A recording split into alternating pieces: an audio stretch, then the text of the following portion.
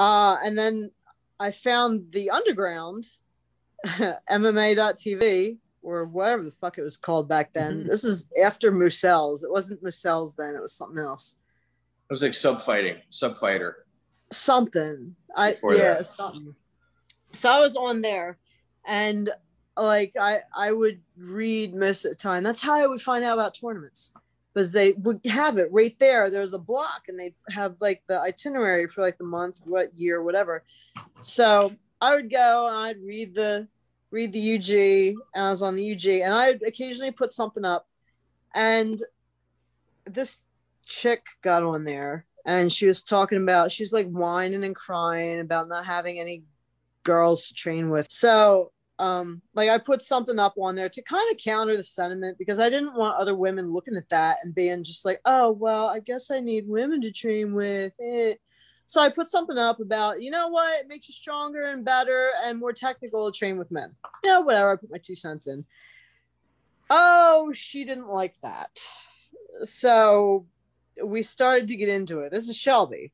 So, so she was kind of being mean to you. Well, yeah, I, I was at. she was I- a classic mean girl. She really was. God bless her.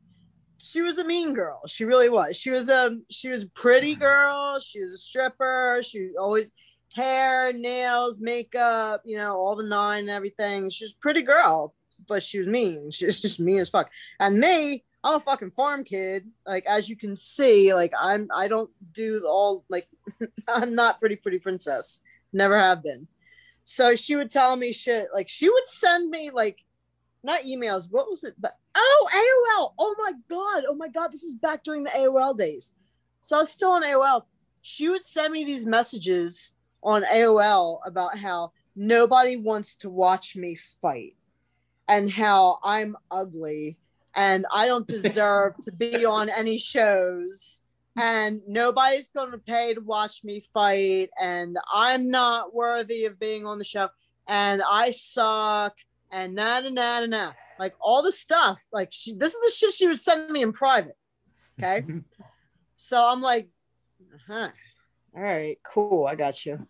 So when I guess I guess when I, I I don't remember how I first got up with with HOOKnSHOOT with Jeff. Like I must have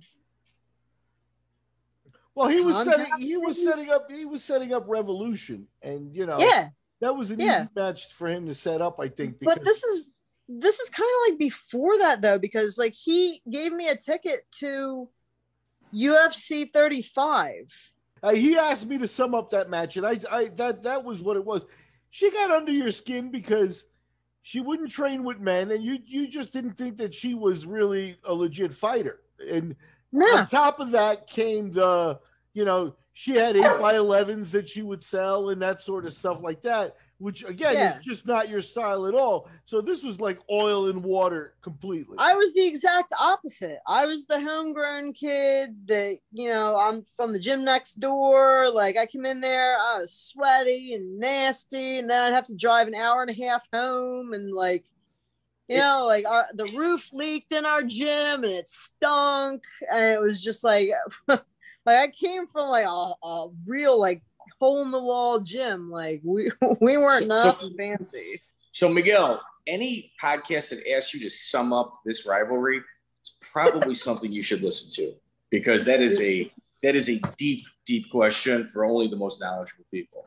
So you get you get to Evansville. Did you drive or fly there? flew flew i think he flew us in the women's show he went he he kind of went all out with it or at least The- that's what he yeah, said the first women's show was incredible for sure. yeah yeah yeah yeah what was the year of it? he it was april 13th It's 2002. 2002 Guys, guys, Yeah. there, there was already 99, 2000, 2001 Abu Dhabi tapes that we were using as income as well. So yeah, we, we probably were playing playing Yeah. tickets by that.